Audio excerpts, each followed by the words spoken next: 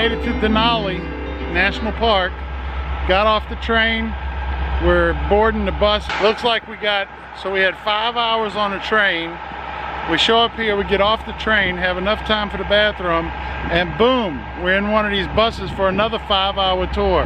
Marathon touring here at Denali. I guess when the sun doesn't go down, you can pretty much tour all 24 hours.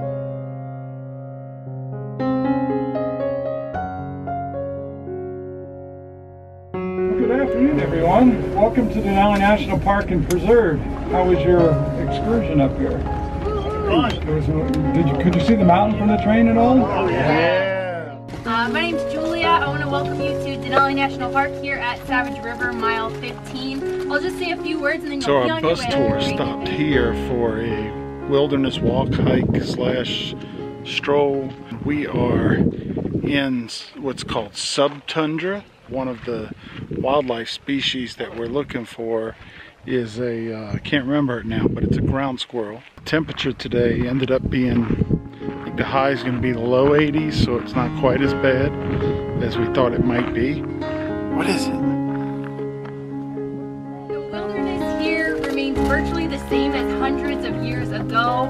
Taking this bus is almost like taking a trip back in time, returning yourself to a world filled with open spaces, clean air and water, and the wild sounds of nature.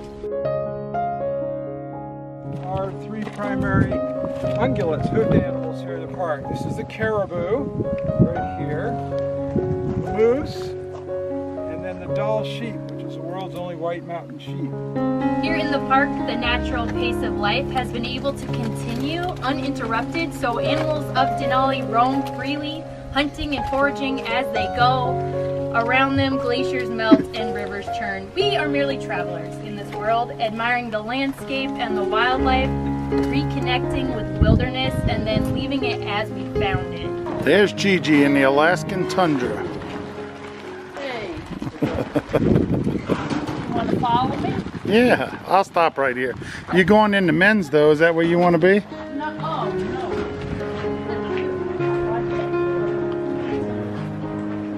Show us. Got an Alaska one. Denali. We have three, two Alaska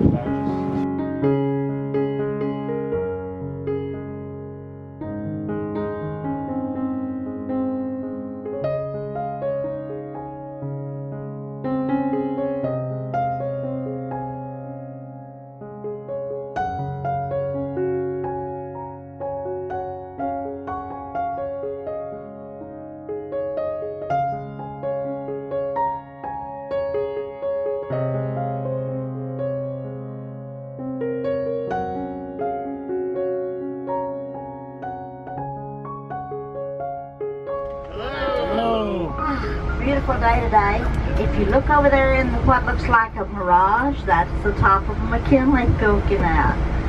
Well, we're just so glad to have you at Mary's McKinley View Lodge. Uh, your tour guide has asked me to say a little bit about the history here. And when I talk about the history, I have to talk about my mother. Well, she was one of the first homesteaders ever in this area. We're from Louisiana, so you know we have a bunch of critters in general. But Jaden's on the. You want to tell him? Come on. He's on the bass fishing team. He didn't have a great season of bass fishing this year, but he did catch one bass that was about five pounds. downtown Anchorage.